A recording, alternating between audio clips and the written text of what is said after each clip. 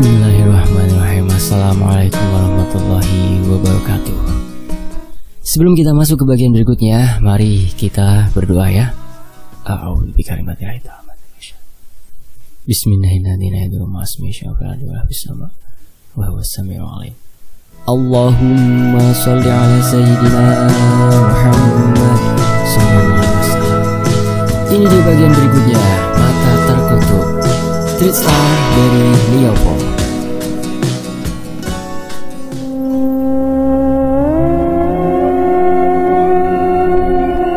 Aku menyuruh Intan dan Ray kembali ke rombongan.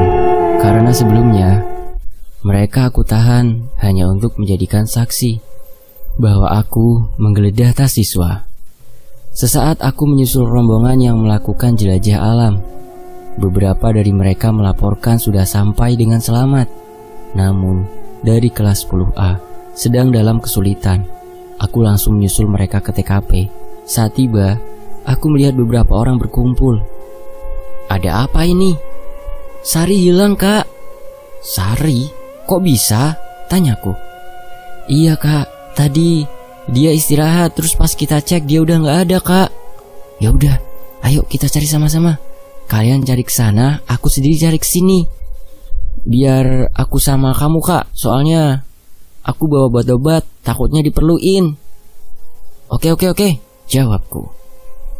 Aku langsung berpencar dengan kelompok kelasnya Sari. Aku bersama seseorang yang tadi Dan dia bernama Agung. Aku mencari ke dalam hutan kecil ini bersama Agung Sambil terus berteriak memanggil nama Sari. Setelah melakukan pencarian selama kurang lebih 20 menit Aku menyuruh Agung untuk kembali ke rombongan dan memberitahukan peserta lain agar tetap bersama. Dan aku juga memberikan sebuah alat komunikasi HT padanya. Setelah itu, aku kembali mencari Sari, melewati pohon demi pohon. Bahkan sungai pun aku lewati, sampai aku menemukan sebuah batu besar yang berada di pinggir sungai. Aku melihat seseorang. Ah tidak, ada dua orang. Aku mendekati mereka berdua. Halo, Siapa di sana? Kataku. Ini Leo. Aku Leo sama Sari. Suara cowok terdengar dari Handy Talkie. Dan aku pun langsung menghampiri mereka berdua. Syukurlah Sari tidak apa-apa. Tapi kenapa perasaanku menjadi tidak nyaman seketika melihat mereka berdua dan hanya berdua saja di gelap malam ini. Aku melihat Sari dalam keadaan menangis di situ. Kalian gak apa-apa? Tanyaku. Iya, aku gak apa-apa. Ini Sari tadi ketinggalan. Dia nyasar katanya. Aku cari ke sini deh. Kata Leo. Sari, kamu gak apa-apa kan? Tanyaku. Aku nggak apa-apa kak. Maaf ya, jadi ngerepotin kalian semua. Enggak kok Sari, ya udah. Ya udah, kamu jangan nangis lagi ya. Ada aku sama Leo. Iya kak, jawab. Sari tersenyum melihat ke arahku dan ke Leo dan dia kembali tertunduk. Leo, kamu antar dia ya. Nih, pakai HT aku aja, kataku. Terus kakak gimana? Tanya Leo. Aku tahu jalan pulang kok. Oh ya udah kak, kita duluan ya. Makasih ya kak. Yuk Sari. Iya, wajah Sari terlihat memerah saat dekat dengan Leo. Aku tak nyaman dengan hal ini. Apa benar aku cemburu? Aku merasa sedih Entah hati ini seperti menangis saat melihat kedekatan mereka berdua. Ketika sedang cemburu dan melakukan hal-hal seperti seorang freak pada umumnya, kamu sebenarnya seperti mengekang pasangan untuk melakukan suatu hal, seperti ingin mengambil air dengan menggenggamnya terlalu kuat. Kamu tidak akan mendapatkan yang diinginkan. Aku berjalan menuju arah sungai sambil terus memikirkan hal tadi. Mungkin aku sedikit terlambat, Aku rasa Sari memang akan sulit aku perjuangkan. Karena mungkin aku bukanlah kriterianya. Kalau dibandingkan Leo yang berkulit putih bersih, rambut lurus, dan tinggi sekitar 165 cm Aku rasa dia emang laki-laki yang pantas didekati oleh seseorang perempuan. Aku memandang sungai yang airnya benar-benar bening dan bercahaya karena pantulan sinar rembulan yang begitu indah. Langit pun dihiasi oleh banyak sekali bintang yang setia menemani rembulan di tiap malam. Jarang ada banyak bintang seperti ini. Aku melihat diriku sendiri di air, dari pantulan air. Aku ingin tahu, seperti apa aku sebenarnya. Aku mengangkat tangan kananku dan menutup mata kananku. Kemudian aku melihat diriku sendiri. Aku melihat sosok laki-laki normal. Iya, itu diriku. Tak ada yang spesial dariku. Saat aku sedang menatap diriku di sungai, Aku melihat sebuah pantulan cahaya yang sedikit menyilaukan mata. Aku sedikit lebih condong ke depan, dan aku melihat sebuah cermin di dada bagian kiriku. Aku melihat lebih jelas ketika air itu sudah berhenti bergelombang karena tetesan dari pergerakanku. Dan cermin itu ternyata retak. Aku kembali melihat lebih jelas lagi, dan aku melihat seperti ada mahkota emas yang terpakai di atas kepalaku entah warna emas atau hitam. Penglihatanku sedikit buram. Aku berjalan kembali ke perkemahan dan ternyata sudah banyak teman-teman di sini. Apakah jelajah alam sudah selesai? Mereka semua terdiam begitu melihatku datang menghampiri mereka. Kenapa kalian liatin gue kayak gitu? Lu dari mana kak? Satu jam lu ngilang. Tanya Harry. Hah? Satu jam? Kataku. Aku kaget begitu mendengar itu Aku memang lupa mengabarkan mereka, tapi aku tahu bahwa aku yang kulalui tadi tidaklah lama. Mungkin hanya sekitar 15 menit saja, tapi semua mengatakan bahwa aku sudah pergi lama. Udah-udah bubar, ngapa gue jadi kayak napi gini sih? Kataku. Heh, lu yang geledah tas gue kan? Sambil menghampiriku, si Romi tuh. Iya kenapa? Kaget lu? Aku menjawab dengan nada menantang. Sebuah pukulan mendarat di pelipis mata kiriku. Tapi kalian tahu apa yang kurasakan? Aku tak merasakan sakit. Aku hanya merasa seperti ada angin yang meniupku secara paksa. Berani amat lu ngacak-ngacak isi tas gue. Apa yang lu ambil lah? Tanya Romi. Harusnya gue yang nanya, apa yang lo ambil dari Intan? Maksud lu apa ah? Tantang Romi. Rom, gue tahu Lu ambil duit Intan, gue sengaja geledah tanpa ngasih tahu siapa pun. Karena gue pengen mereka sadar kalau apa yang mereka ambil dari orang bukan hak mereka. Sok suci lu, bangsat, kata Romi. Buk, dan Romi kini memukul pelipis kananku. Kali ini aku benar-benar merasakan sakit sambil bisa membuatku terjatuh. Weh udah weh, apa lu udah maling kagak ngaku? Teriak Harry. Apa? Lu mau ikut campur? Tantang Romi. Pergi lu setan. Urusan kita belum selesai. Sambil menunjukku, Romi berkata seperti itu. Lu gak apa-apa kak? Iya, gue gak apa-apa nak. Yuk, gue obatin. Enggak, gak usah, gue gak apa-apa.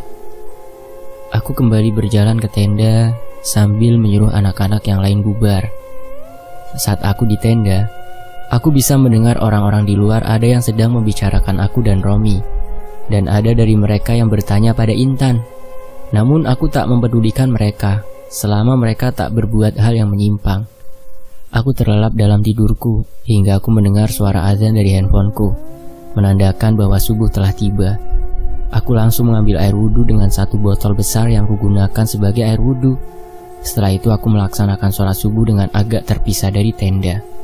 Setelah sholat, aku melihat seseorang yang sedang duduk di depan api unggun yang masih menyala sedikit dan tak salah bahwa itu adalah Sari.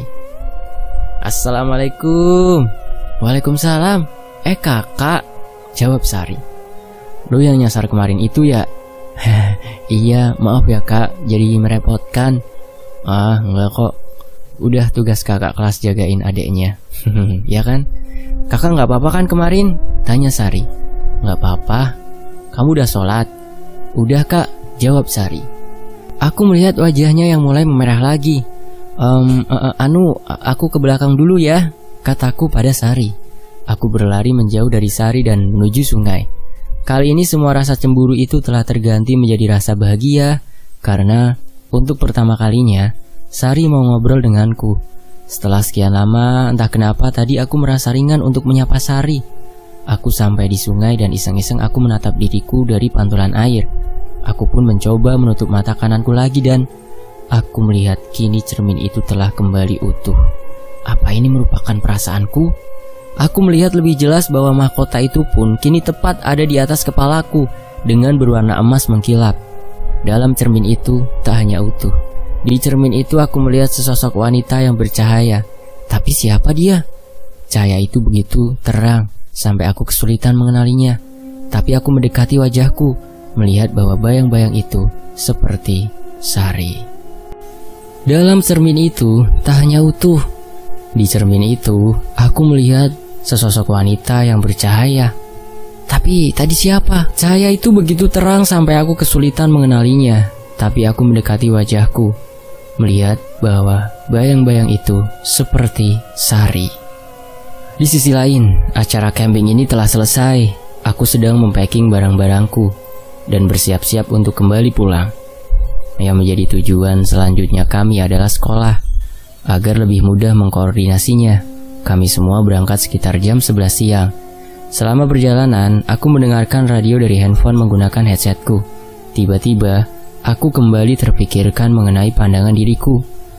Saat aku melihat diriku memiliki cermin dengan ada bayang-bayang seorang wanita di cermin itu yang agak sulit aku lihat, saat aku sedang mendengarkan radio, ceramah ini membahas tentang hadis-hadis. Sampai suatu ketika, di radio aku mendengarkan bahwa Rasulullah Shallallahu Alaihi Wasallam bersabda, lemah lembutlah, berjalanlah, giringlah dengan pelan bersama gelas-gelas kaca. Hadis riwayat Bukhari Muslim. Arti gelas-gelas kaca di sini adalah wanita, karena perasaan mereka itu sensitif, hati mereka mudah sakit dan pecah.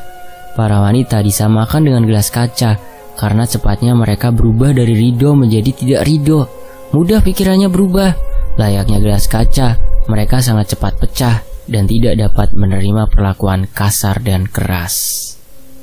Singkat cerita, sesampainya kami di sekolah sekitar jam setengah satu siang, dan waktu itu sudah menunjukkan waktu duhur telah terlewat. Aku langsung berjalan ke masjid untuk melaksanakan ibadah sholat duhur. Banyak siswa juga yang memilih sholat berjamaah di sekolah. Setelah sholat, aku kembali melihat sekeliling menggunakan mata kiri. Aku menutup mata kananku. Beberapa sosok baru yang aku lihat saat ini, ada yang berkepala seperti keledai, ada yang kakinya terbakar dan sepertinya dia sedang menghampiriku. Aku melihat bahwa dia adalah Leo. Apa maksud dari pandanganku tentang Leo? Aku tak mengerti. Bro, Lu bisa kan jauhin Sari? Kata Leo. Emang lu siapanya Sari? Gue emang bukan siapa-siapa dia, tapi lu jauhin Sari, kata Leo. Singkat cerita, Leo pergi meninggalkanku. Aku tak mengerti apa yang dimaksud Leo. Memang kenapa jika aku dekati Sari? Tau gak ada rumor bahwa Sari tengah memiliki pacar?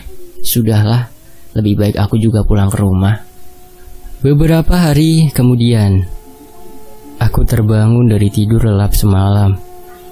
Badan ini terasa pegal karena wisata kemarin. Dan sepertinya efeknya baru terasa sekarang. Aku langsung mandi dan sholat subuh. Setelah itu aku bersiap-siap untuk berangkat sekolah. Netra, sini sarapan dulu nak, kata ibuku. Iya bu, jawabku. Aku duduk di meja makan bergabung bersama ayah dan Karna. Ayah sedang sibuk-sibuknya membaca koran, sedangkan Karna sedang sarapan dengan lahapnya. Iseng-iseng, aku membuka handphone dan login Facebookku. Aku melihat grup sekolahku, dan banyak yang memposting foto-foto saat camping kemarin. Dan aku melihat satu foto yang menarik perhatianku, di mana terdapat foto Leo dan Sari berdua.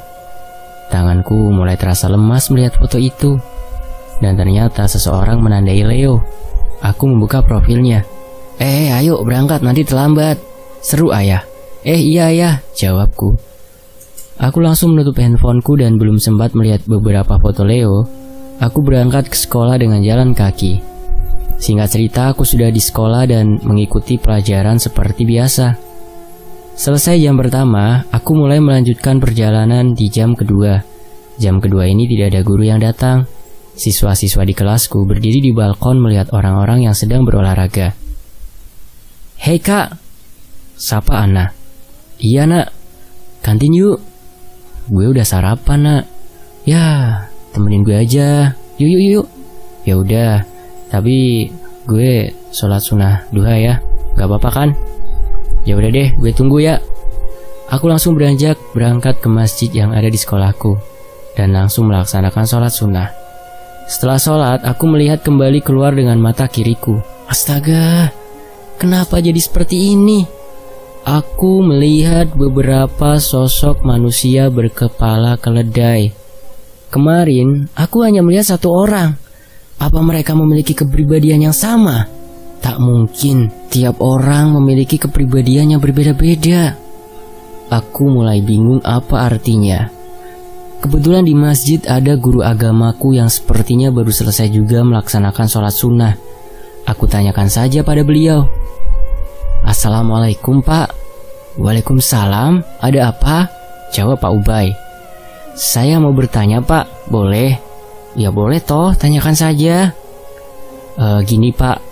Saya membaca buku kemarin Dan saya melihat Ada gambar manusia Berkepala keledai. Maksudnya apa ya pak? Gini-gini. Nak siapa namanya? Kata Pak Ubay. Netra pak. Begini nak Netra, ada sebuah hadis yang menyebutkan bahwa tidakkah takut orang yang mengangkat kepalanya sebelum imam atau mengangkat kepalanya akan dirubah oleh Allah kepalanya menjadi kepala keledai, kata Pak Ubay. Tapi bukan hanya itu, aku yakin ada maksud lain dari sosok-sosok ini, ucapku dalam hati. Lalu, apa ada arti lain pak dari sosok seperti itu? Bisa juga karena durhaka, di mana durhaka merupakan suatu dosa besar. Jawab Pak Ubay. Oh begitu ya Pak. Memang ada apa nak? Eh, nggak ada apa-apa Pak. Cuma mau menambah wawasan. Hehehe. Makasih ya Pak. Saya permisi dulu. Assalamualaikum. Waalaikumsalam. Jawab Pak Ubay. Lalu aku berjalan keluar dan menemani Anna di kantin seperti yang tadi ku bilang. Anna memesan makanan di kantin. Aku hanya terdiam menunggunya di meja. Lu nggak makan kak? Enggak, lu aja nak. Eh, gue masih penasaran. Lu ke mana sih pas camping? Ngilang lama.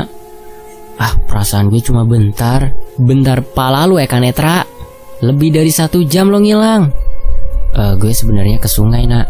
Ngapain? Ya jalan-jalan aja sih. Lo mah aneh, jalan-jalan malam-malam ke sungai pula. Lu, lu napak gak sih kakinya? Iya kali gue setan, gue normal woi. Ya, tiap orang punya cara yang berbeda buat bikin otak mereka rileks nak. Wih, udah pinter, kata Ana. Gue mah udah pinter dari pabriknya, kagak bercanda. Tiap manusia dikasih kelebihan dan kekurangan. Lu jangan berlebihan ah. Selang waktu berlalu, aku terus mengobrol dengan Ana di kantin. Ternyata, Ana suka baca buku, apalagi buku-buku novel. Dia suka banget. Aku perhatikan Ana tak kalah manis dan cantik dengan Sari. Bukan maksudku untuk membandingkan mereka berdua. Ana adalah sahabatku. Ana dan Herilah sahabat dekatku. Malam harinya setelah sholat isya, aku sedang mengikuti pengajian di madrasah dekat rumah. Acara ini dihadiri oleh beberapa orang. Ada juga remaja yang memang selalu mengikuti pengajian di sini. Aku mendengarkan ceramah di masjid itu. Beliau membicarakan tentang sholat di mana beliau menjelaskan apa arti dari manusia berkepala keledai itu dan aku mendengarkannya. Rasulullah Shallallahu Alaihi Wasallam bersabda, Tidakkah salah seorang dari kamu takut atau hendaklah salah seorang dari kamu takut apabila mengangkat kepalanya mendahului imam bahwa Allah akan mengubah kepalanya seperti kepala keledai atau mengubah rupanya menjadi rupa keledai. Hadis riwayat Bukhari nomor 650 dan Muslim nomor 647. Ah, sekarang aku mulai mendapat sebuah pengetahuan baru. Mungkin sosok-sosok itu adalah benar seperti apa yang telah diceritakan oleh pendakwah. Aku harus lebih berhati-hati dalam melaksanakan sholat berjamaah. Setelah acara selesai, aku tengah bersiap untuk pulang.